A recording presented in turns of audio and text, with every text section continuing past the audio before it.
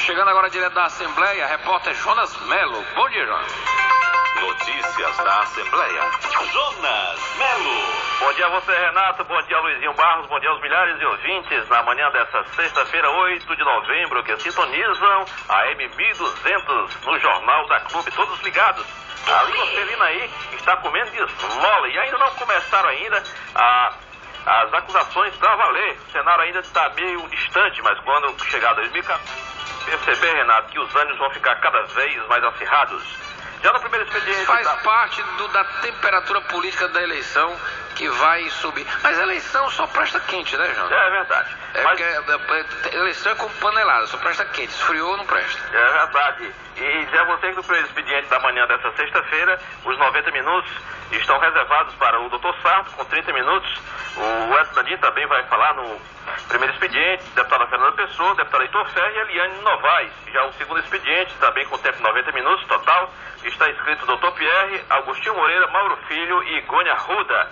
Foi aprovado durante a abertura dos trabalhos da quinta-feira, ontem, portanto, na Assembleia Legislativa, um projeto de lei que propõe a redução do imposto sobre circulação de mercadorias e serviços, o ICMS, sobre as operações de abastecimento com, a, com querosene e aviação feitas no Estado.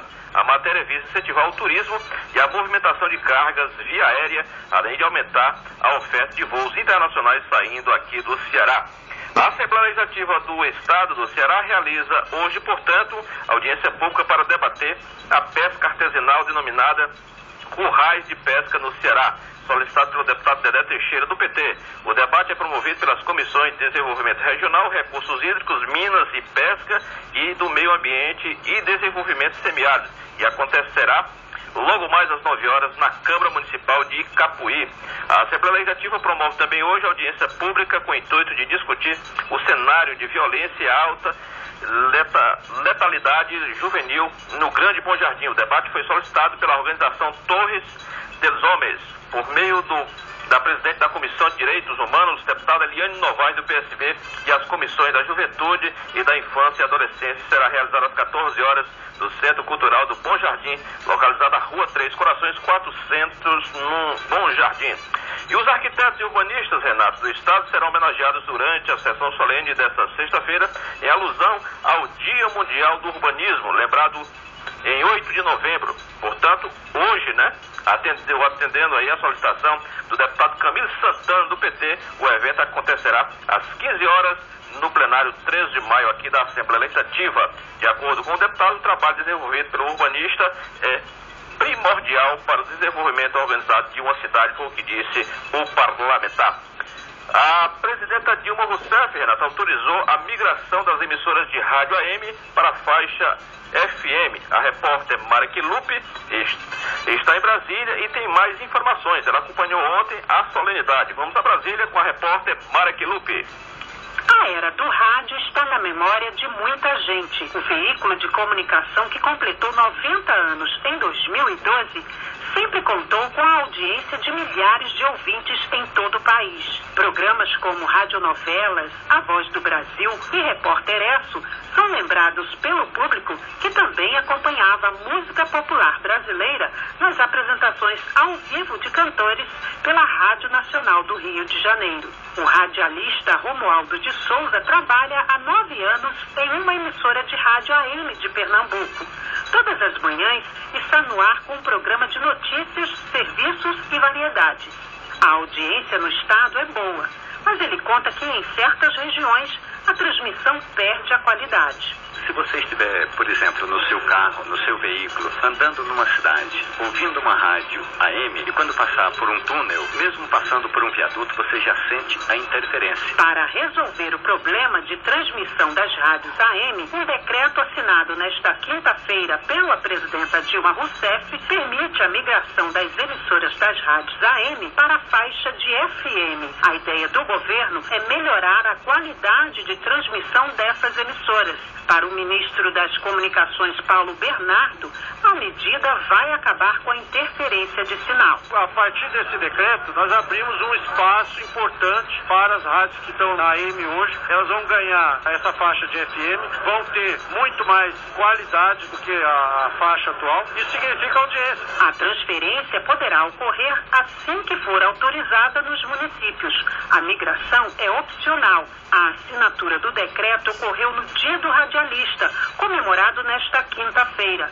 A presidenta Dilma Rousseff aproveitou para parabenizar os profissionais do rádio, dizendo que também se considerava uma radialista. Eu quero dizer que eu, de fato, me considero um pouco radialista, porque eu faço um programa de rádio toda semana, o chamado Café com a Presidenta. Nessas ocasiões eu percebo, através dessa, por meio do rádio, né, que o rádio ainda tem e terá por muito tempo esse poder de nos aproximar das pessoas e da população. Como dizia um teórico das comunicações, o rádio é um meio quente e ele permite essa quase conversa com as pessoas. A presidenta Dilma destacou ainda a importância do rádio no período da ditadura. Nos duros anos de prisão, as notícias e as músicas chegavam também através do rádio. Algumas vezes através do fato que nós, por causa do sinal AM, conseguíamos acessar rádios internacionais. Um rádio grande chamado Transglobe, uma antena que a gente potencializava com um bombril, era um dos instrumentos de contato com o mundo. A expectativa do governo é que mais de 80% das emissoras AM passem para a frequência de FM. De Brasília, Mara Kenup. O Marco Civil da Internet terá nova rodada de negociações Renato. Ô, Jonas. Foi não. É um incêndio, atenção, a notícia chegando agora de São Paulo, o incêndio atinge prédio no centro de São Paulo e deixa pelo menos 30 feridos que foram socorridas na madrugada de hoje. Um incêndio de grandes proporções atingiu um prédio no centro comercial de São Paulo e alastrou fumaça para edifícios próximos. Os bombeiros já foram mobilizados. O fogo atingiu também um prédio residencial grudado ao estabelecimento. O edifício incendiado é comercial, abriga uma academia de ginástica onde teria começado o fogo. A fumaça alta se alastrou e entrou pelas janelas dos edifícios, assustando moradores. Segundo o jornal Folha de São Paulo, uma família foi resgatada do quarto andar de um dos prédios com auxílio de uma escada Magiros dos bombeiros. Pai, mãe e filho, com medo da fumaça, chegaram a ameaçar se jogar pela janela. Entre as vítimas, há um idoso que foi levado ao hospital com queimaduras. A Companhia de Engenharia de Tráfego de São Paulo informou que a Avenida Rio Branco está interditada junto à Rua dos Timbiras e a Avenida Ipiranga, junto com a Casper Libero. Portanto, muita confusão no centro de São Paulo agora de manhã. Um incêndio de grave, de grandes proporções, Jonas. É, e o Marco Civil, como eu estava dizendo para você e os ouvintes, o Marco Civil da Internet terá nova rodada de negociações hoje. O principal impasse está na neutralidade, Renato, de rede que proíbe as prestadoras de serviço de cobrarem preços diferentes pelos pacotes de internet. A repórter Priscila Mazenotti está em Brasília e traz detalhes. O governo retoma na próxima semana mais uma rodada de negociações com o Congresso para garantir a aprovação do projeto que trata do Marco Civil da Internet. O principal impasse está na neutralidade de rede, que proíbe as prestadoras de serviço de cobrar preços diferentes pelos pacotes de internet. O governo alega que é preciso garantir acesso igual e com a mesma qualidade para todos. Partidos como o PMDB afirmam que trata-se de uma intervenção do Estado e as prestadoras de serviço dizem que com isso os pacotes vão ficar mais caros. O ministro das Comunicações, Paulo Bernardo, disse que as negociações continuam e afirmou não acreditar em aumento de preços. Nós temos um mercado de grande concorrência, eles brigam a tapa pelo, pelo consumidor. Então, essa, essa coisa de falar, não, vai aumentar o preço, é nada. Eu acho que nós temos que ver seguinte, qual é o modelo de marco civil que é bom para a sociedade como um todo. O ministro afirmou ainda que, como o assunto está no Congresso, cabe aos parlamentares decidir, mas que as conversas ocorrerão nos próximos dias. A expectativa é que o assunto seja discutido no plenário da Câmara na quarta-feira. De Brasília, Priscila Mazenotti. A Prefeitura de Maracanaú inicia nesta sexta-feira, 8 de novembro, as inscrições para o concurso público para o preenchimento de 430 vagas de professor Os candidatos têm até o dia 6 de dezembro próximo para efetuar as inscrições. Os salários variam de R$ 1.772,14, professor de nível médio, e R$ 2.193,03, nível superior.